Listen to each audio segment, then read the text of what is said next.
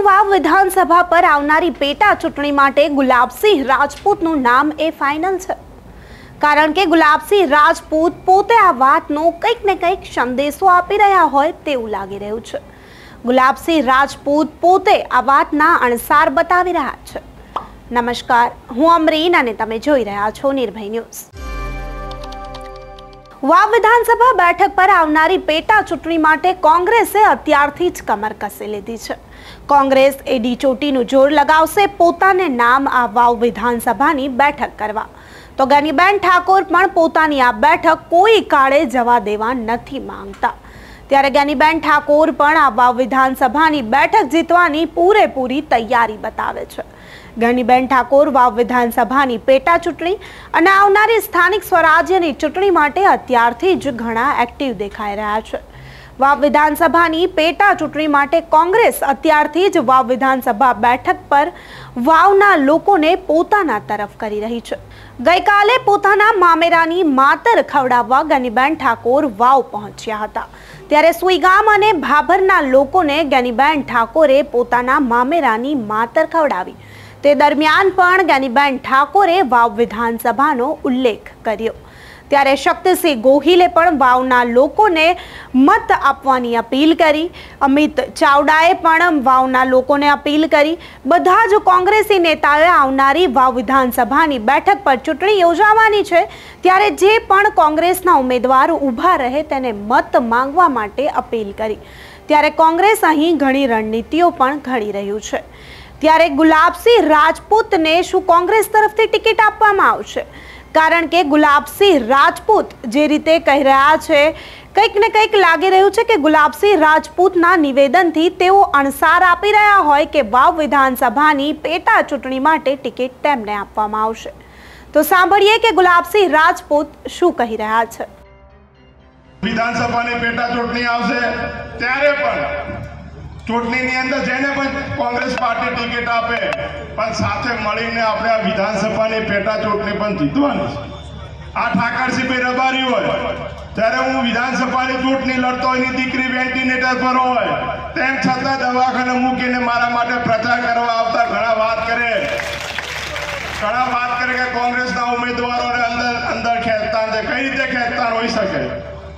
એની દીકરીને જીવન મરણના અંદર હોસ્પિટલમાં મૂકીને મારા માટે કરીને ફોર્મ ભરાવવા માટે આવતા હોય, ત્યારે કોને ખેંચતા હોય બધા એક છે. જ્યાં કેપી સાહેબ આજે ચૂંટણીની અંદર અહીંયા સૌથી બધાના વડીલ છે.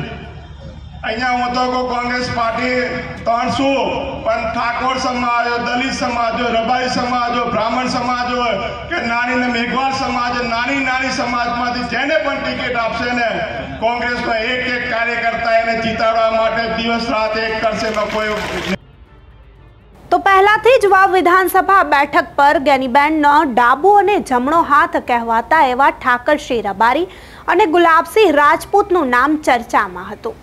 ત્યારે ગુલાબસિંહ રાજપૂત અહીં ઠાકરસિંહ રબારીનો આભાર માની રહ્યા છે. તેઓ કહી રહ્યા છે કે પહેલાં પણ તેમણે મારી ખૂબ જ મદદ કરી છે. તેઓ ખડે પગે રહ્યા. તેમની દીકરી હોસ્પિટલમાં હતી. છતાં ગુલાબસિંહ રાજપૂતને ઠાકરસિંહ રબારીએ ઘણી મદદ કરી છે અને તેમનું ફોર્મ ભરવા ઠાકરસિંહ રબારી પહોંચ્યા હતા. તો શું આ વખતે પણ ગુલાબસિંહ રાજપૂત એવું કહી રહ્યા છે કે આ વખતે પણ ઠાકરસિંહ રબારી તેમની મદદ કરશે? ભલે ટિકિટ ગુલાબસિંહ રાજપૂતને આપવામાં આવે, પરંતુ ઠાકરસિંહ રબારી તેમની પડખે ઊભા રહે. ત્યારે ગુલાબસિંહ રાજપૂતના નિવેદન વિશે કોંગ્રેસમાં અત્યારે ઘણી ચર્ચાઓ ચાલી રહી છે. રાજકીય વર્તુળોમાં અત્યારે ગરમાવો જોવા મળી રહ્યો છે. ત્યારે આ બેઠક પર કોંગ્રેસ અત્યારથી જ એડી ચોટીનું જોર લગાવી રહી છે. ઠાકરસિંહ રબારી આ વિશે શું વિચારે છે? તમને શું લાગે છે? કોંગ્રેસ કોને ટિકિટ આપશે? શું ખરેખર કોંગ્રેસ આ વખતે ગુલાબસિંહ રાજપૂતને ટિકિટ આપશે? કે પછી કંઈ નવા જૂની નાયંધાણ થઈ શકે છે? કારણ કે હજુ કોંગ્રેસ તરફથી વાવ બેઠક પર નામ જાહેર કરવામાં આવ્યું નથી. પરંતુ ઘણા અણસારો દેખાઈ રહ્યા છે કે ટિકિટ તો ગુલાબસિંહ રાજપૂતને જ આપવામાં આવે. ત્યારે અહીં ગુલાબસિંહ રાજપૂત પણ કંઈક ને કંઈક ઠાકરસિંહ રબારીને પોતાની તરફ કરવાનો ઈશારો કરી રહ્યા છે અને ટિકિટ ભલે આ વખતે પણ ગુલાબસિંહ રાજપૂતને આપવામાં આવે, પરંતુ તેઓ ઠાકરસિંહ રબારીને પોતાની તરફ ઊભા રહે તેવો ઈશારો અહીં કરી રહ્યા હોય તેવું લાગી રહ્યું છે. તમારા મતે શું લાગે છે? કોંગ્રેસમાંથી ટિકિટના સાચા હકદાર કોણ છે? કયા ઉમેદવારને ટિકિટ મળવી જોઈએ? કોંગ્રેસ ઠાકરસિંહ રબારીને ટિકિટ આપે. જો કોંગ્રેસ ગુલાબસિંહ રાજપૂતને ટિકિટ આપે, તો રબારી વર્ગ પણ અહીં નારાજ થઈ શકે છે. કારણ કે રબારી સમાજના લોકોએ અપીલ કરી હતી કે ટિકિટ ઠાકરસિંહ રબારીને આપવામાં આવે. કારણ કે ઠાકરસિંહ રબારીએ જ્ઞાનીબેનને લોકસભામાં જીતાડવામાં ઘણી મદદ કરી છે.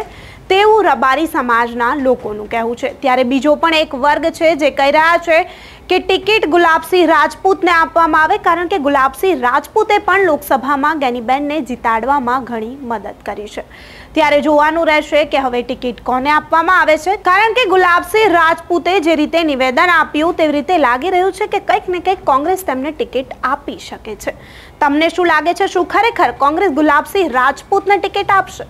અમને કમેન્ટ કરી ચોક્કસથી જણાવજો તથા અમારી ચેનલ નિર્ભય ન્યૂઝને લાઇક, શેર અને સબસ્ક્રાઇબ કરવાનું ભૂલશો નહીં. આભાર.